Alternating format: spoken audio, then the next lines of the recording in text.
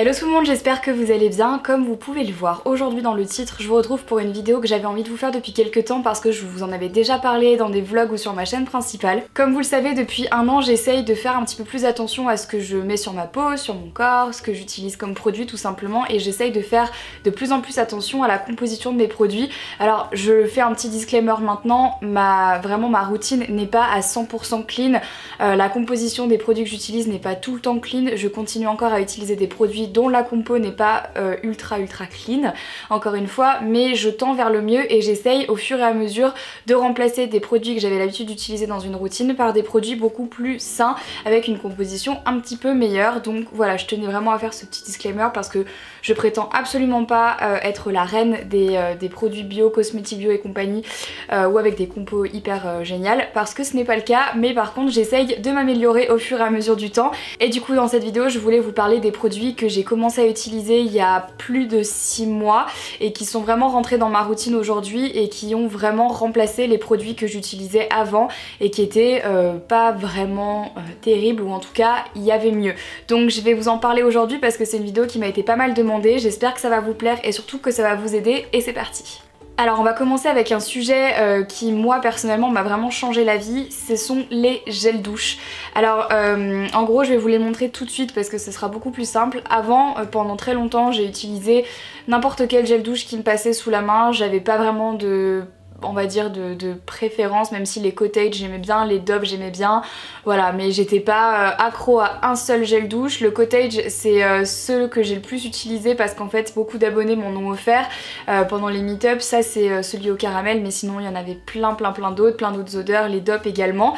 Et pendant un temps je me rendais bien compte qu'à chaque fois que je sortais de ma douche j'avais comme des espèces de sécheresse sur les bras. Ma peau me grattait énormément. Je me suis même demandé si c'était pas l'eau qui faisait ça et tout, je comprenais pas pourquoi, si je faisais une allergie, je faisais des plaques et tout, j'étais vraiment super sèche. Et ça me grattait, ça me démangeait, ça me faisait vraiment mal, notamment sur les bras, sur les jambes. Et euh, c'était hyper hyper désagréable. Et ensuite je suis partie en voyage presse avec Melvita à Agadir, vous avez dû le suivre euh, dans les vlogs je pense.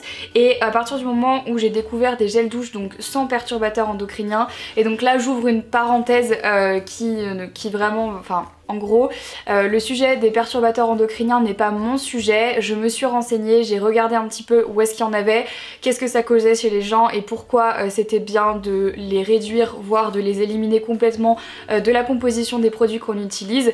Mais je ne prétends pas être une spécialiste du sujet perturbateurs endocriniens, donc si jamais ça vous intéresse, je vous mettrai dans la barre d'infos des liens d'articles que moi j'ai pu lire et où je me suis renseignée ou même des vidéos sur YouTube. Et je vous laisserai aller les voir et vous faire votre propre avis. Mais quand bien même j'ai du coup essayé euh, autre chose que les gels douche que j'utilisais. Et donc j'ai essayé les gels douche Melvita et je n'ai plus du tout, du tout, du tout eu de sécheresse. Donc ma peau ne me grattait plus, euh, je n'ai pas eu de sécheresse, je n'ai pas eu de gêne euh, par rapport à, la douche juste après. Enfin, j'avais aucun problème. Euh, donc voilà, et j'ai commencé du coup à utiliser les gels douche Melvita. Donc celui-ci c'est camélia blanc et miel de fleurs d'oranger qui ressemble à ça. Donc moi vous connaissez ma passion pour les odeurs fleurs d'oranger, donc... J'adore celui-ci mais il y en a aussi un vert, un jaune, un rose, je crois que je les ai tous essayés et c'est vrai que maintenant je n'utilise plus que ceux-là. Alors bien sûr euh, la variation du prix n'est quand même pas négligeable entre les deux produits. Il me semble qu'un gel douche cottage ça doit coûter aux alentours de 3 euros dans les supermarchés, voire un peu moins, tandis qu'un gel douche Melvita ça coûte euh, il me semble entre 6 et 8 euros. Je vais quand même vérifier pour pas dire de bêtises mais forcément c'est plus cher. Alors après voilà, là vous payez le label bio et là vous ne le payez pas et là il y a une composition un peu plus clean que dans ça. Donc après c'est un choix à faire mais voilà moi je voulais vraiment vous présenter les produits que j'ai décidé de changer totalement de ma routine. Du coup à la maison maintenant ceux-là on en a encore mais genre, je les utilise quasiment plus. Je les utilise pour laver mes pinceaux ou alors je les donne au fur et à mesure aux gens qui veulent bien les utiliser. Euh, moi j'ai juste décidé d'arrêter de les utiliser parce que ça ne convient pas et ma peau elle... Enfin ça se ressent sur ma peau en fait et ça me, ça me convient pas. Donc c'est pour ça que j'ai préféré passer sur euh, des gels douche bio. Donc pour l'instant j'utilise Melvita mais je, enfin, je suis carrément ouverte à, d'autres gels douche donc d'ailleurs n'hésitez pas dans les commentaires à me faire part de vos, ben, de vos petites astuces ou des produits que vous aimez bien utiliser. Alors là on va passer au deuxième produit et pour moi ça a été un grand débat pendant longtemps parce que vraiment j'étais persuadée que ce que j'utilisais c'était pas le pire des déos mais euh, finalement il s'est avéré que c'était quand même pas terrible donc depuis que j'ai je sais pas genre 12 ans. En vrai, depuis que j'ai l'âge de mettre du déo, je n'ai toujours mis que des déos Ushuaia. Je vous en ai parlé dans plein de mes vidéos, voilà, les déodorants Ushuaia c'était mes préférés. Bien sûr les aérosols, hein, parce que les billes je supportais pas ça. Euh, là il me reste juste euh, un fond que je gardais exprès pour vous faire cette vidéo parce que je les utilise plus depuis bien longtemps maintenant. Euh, donc les déodorants c'est toujours très controversé à cause du sel d'aluminium, à cause ben, des perturbateurs endocriniens, à cause des, des euh, compositions cancérigènes, etc. Bon bref, euh, donc du coup c'est toujours un peu compliqué d'aller vers des déos qui sont super clean. Et surtout pour les filles, euh, c'est compliqué notamment avec euh, les risques du cancer du sein. Je pense qu'il faut faire vraiment très attention aux compositions des déodorants qu'on utilise. Et, euh, j'ai vraiment eu un déclic quand j'en discutais avec Sarah, donc du blog Mamselle Souze, qui est ma copine et surtout qui a son, sa boutique en ligne en fait où elle vend notamment des déos bio. et on en a beaucoup discuté et puis moi j'en discutais autour de moi et je me suis vite rendu compte que les Ushuaïa c'était vraiment pas les meilleurs, c'était pas les pires mais c'était pas non plus les meilleurs et que il euh, y avait des, euh, des hauts avec des compos bien plus euh, clean en fait et puis surtout plus respectueuses de la peau, du corps et puis bien moins nocifs pour la santé. C'est la raison pour laquelle je suis passée sur ces déos là. Donc vous avez dû les voir un petit peu partout je pense parce que à mon avis, enfin moi j'en ai vu sur des chaînes américaines il y a encore pas si longtemps que ça. Euh, donc c'est la marque Schmidt et ça c'est le déo au thé au jasmin mais j'en ai aussi d'autres euh, que je teste actuellement. Euh, donc en fait ça se présente comme ça. Donc je sais qu'il y a plein de gens qui n'aiment pas du tout cette texture là et moi il m'a fallu un petit peu de temps pour m'y mettre. Mais donc c'est une c'est comme un pain en fait. Enfin voilà ça c'est comme ça quoi. C'est comme une bille mais vous savez c'est c'est pas vraiment une bille en fait c'est comme enfin c'est de la pâte limite. Alors comme je disais c'est pas très facile de s'y habituer surtout si comme moi vous avez été habitué en fait au déodorant aérosol pendant très longtemps. Mais quand on voit les bienfaits que ça peut faire sur le corps plus environnement puisque bien sûr euh, ça euh, pour l'environnement c'est juste un déchet c'est terrible en fait j'ai mis du temps à m'en rendre compte mais c'est vrai quand on voit tout ce que ça envoie dans l'air tandis que ça ça n'envoie absolument rien et eh ben on fait vite le choix en fait ça fait environ 6 mois que je le teste et au niveau de ce que j'ai pu voir, franchement, il n'y a aucun problème d'odeur. Ça tient vraiment toute la journée, ça se transporte absolument partout.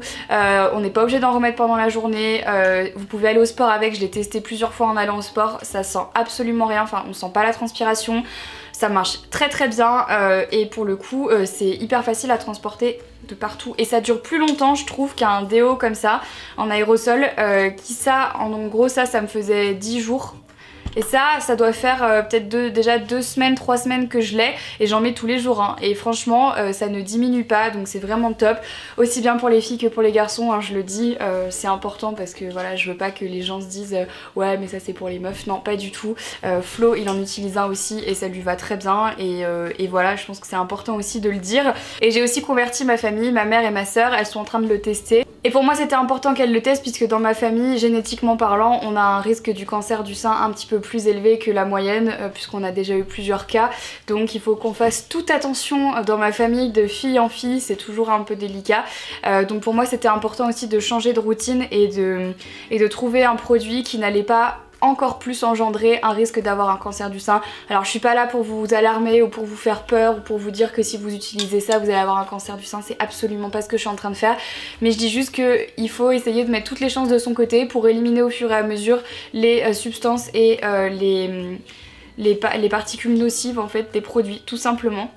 Donc voilà, j'ai switché Ushuaia pour Schmidt et j'en suis très satisfaite et je me reverrai pas euh, du jour au lendemain réessayer du Ushuaia parce que très sincèrement ça me conviendrait pas. D'ailleurs l'autre jour j'avais oublié celui-là et il me restait celui-ci le fond que j'avais laissé dans mon sac de sport. Je l'ai utilisé et ça m'a brûlé mais genre vraiment vénère. Je sais pas ce qui s'est passé mais genre ça m'a brûlé les selles, ça m'a fait trop mal. Donc je me suis dit ok il est peut-être vraiment temps de laisser ça de côté, peut-être que mes aisselles se sont habituées à avoir autre chose et d'avoir ça et donc du coup ça a dû lui faire bizarre d'avoir du Ushuaia.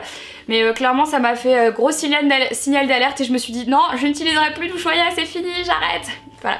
On continue ensuite avec les dentifrices, donc pareil, toujours euh, la parenthèse des perturbateurs endocriniens.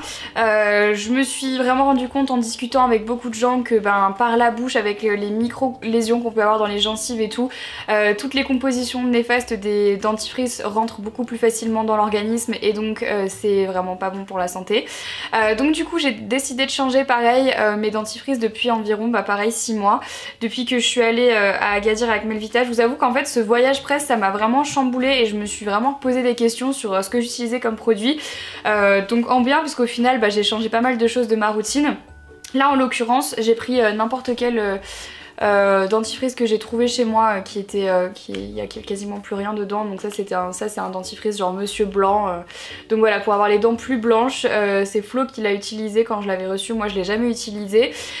Contre du coup ben, les dentifrices Melvita comme vous pouvez le voir que j'ai quasiment terminé mais celui-là c'est pas le premier que je termine. Donc celui-ci c'est le Allen Pur arôme de menthe et je sais qu'il y en a un qui blanchit les dents etc alors moi j'ai jamais vraiment accorder d'importance aux dentifrices que j'utilisais pendant très longtemps. Avant j'utilisais des signals, les euh, trucs euh, White Now, blancheur et tout machin. Et euh, je n'ai jamais utilisé autre chose que ça d'ailleurs. Donc la première fois que j'ai entendu parler des dentifrices bio, sur le coup je me suis un peu posé la question, j'ai eu un peu peur, je me suis dit bon ok, mais qu'est-ce que ça fait concrètement? Est-ce que c'est bien? Est-ce que c'est pas bien? Donc déjà la compo est plus clean, il n'y a pas de perturbateurs endocriniens, donc ça c'est quelque chose qui est bien à savoir si jamais vous recherchez des produits sans perturbateurs endocriniens, celui-là il n'en a pas. Euh, il nettoie tout aussi bien les dents qu'un normal, la seule différence c'est que ça mousse un petit peu moins, voire beaucoup moins. Si vous voulez vraiment que ça mousse, il faut mettre beaucoup de produits, mais à, la fin, enfin, quand on est habitué, en fait, on s'en fiche que ça mousse ou pas tant que ça nettoie les dents. Et franchement, ça nettoie très bien les dents. C'est un dentifrice classique.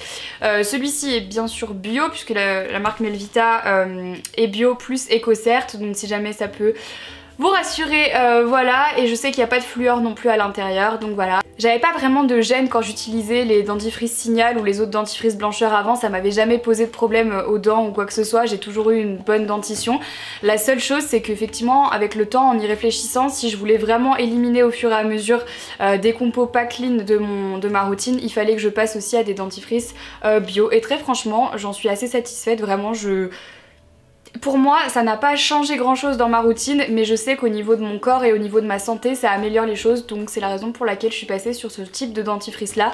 Et pareil, encore une fois, euh, ça change pas la laine que vous avez, c'est pas parce que c'est bio que vous allez puer de la gueule, pas du tout, au contraire, enfin genre c'est normal, c'est exactement comme un dentifrice normal, sauf qu'il est bio et il a pas de perturbateur endocrinien. Donc voilà, et la dernière chose que j'ai complètement changé dans ma routine, mais ça je pense que vous avez dû vous en apercevoir parce que j'ai reçu plein de messages à ce sujet, euh, c'est que maintenant je n'utilise absolument plus du tout d'eau micellaire, donc euh, j'en ai toujours au cas où voilà pour dépanner à la maison donc des démaquillants ou des eaux par exemple j'ai pris celle-ci là c'est la Clinique Tech de Day Off donc la Makeup Remover qui ressemble à ça. Euh, donc voilà c'est typiquement ce type de produit là que j'utilise quasiment plus. Tout ce qui est eau tout ce qui est démaquillant euh, la seule chose que je continue à utiliser c'est les démaquillants waterproof pour les yeux au cas où voilà j'en ai toujours à la maison. Mais j'ai tout remplacé par des huiles euh, pour le visage. Donc là c'est encore une de chez Melvita. Je vous promets que cette vidéo n'est pas sponsorisée par Melvita hein. pas du tout du tout euh, mais c'est juste que j'aime vraiment beaucoup leurs produits et parce que j'en pense vraiment que du bien donc pour moi c'était important de partager aussi les, coups de cœur, c'est ce que je fais depuis 7 ans donc je vois pas pourquoi je changerais maintenant. Donc pour me démaquiller je n'utilise que des huiles pour le visage.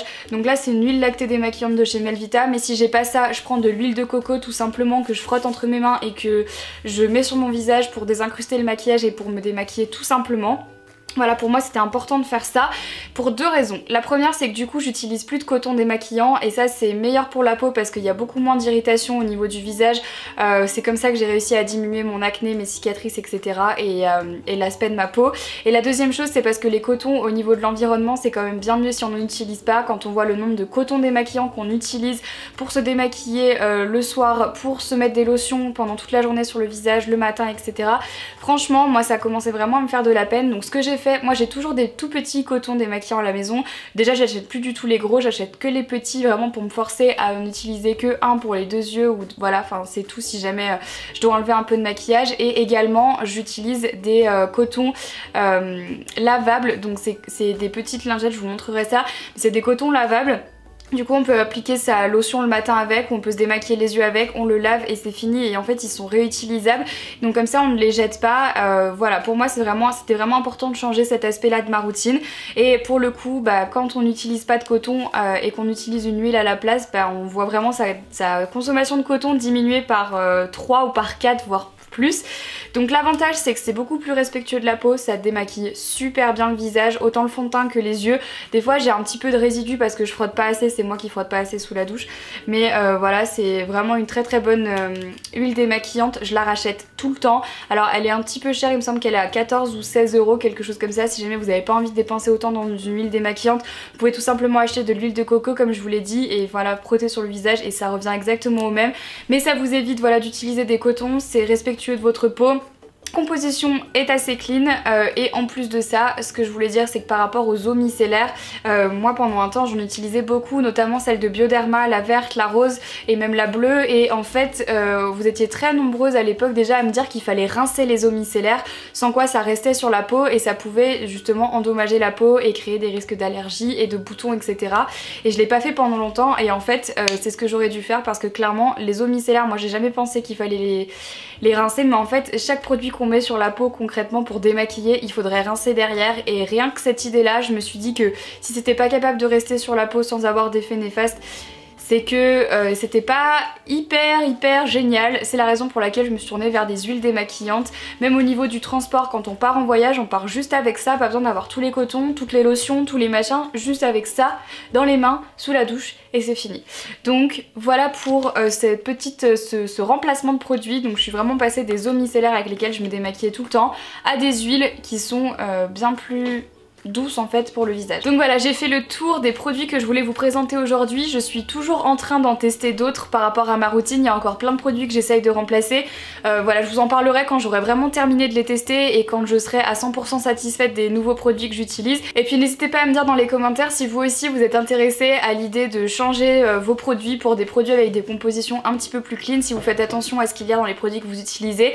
Et puis surtout quels sont les produits que vous utilisez maintenant et que voilà vous avez remplacé. Euh, euh, ça m'intéresse de savoir parce que même moi je suis en train de chercher justement des options alternatives aux produits que j'utilise. Donc voilà, dites-moi tout ça dans les commentaires. J'espère encore une fois que cette vidéo vous a plu. Je vous fais à toutes et à tous plein de gros bisous et je vous dis à très vite pour une prochaine vidéo. Bye bye